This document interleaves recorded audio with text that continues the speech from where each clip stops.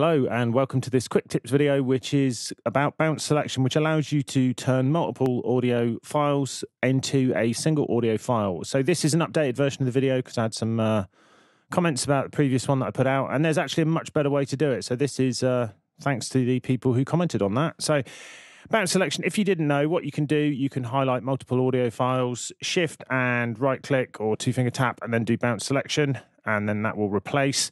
But the issue with it is that it only does it to the extent of the files that you've got. So, for instance, here you can see if we zoom in on this, this kick drum doesn't extend far enough. So, then if we repeated it, even if we'd done it with this, we'd end up with these odd size parts, which is very easy to end up with something that doesn't work too well. So, the way to get around that is to use the range selection tool.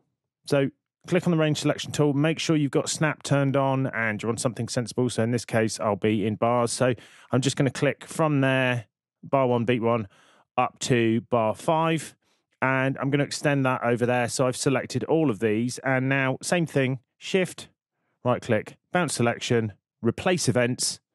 And there you go, perfectly sized bounces.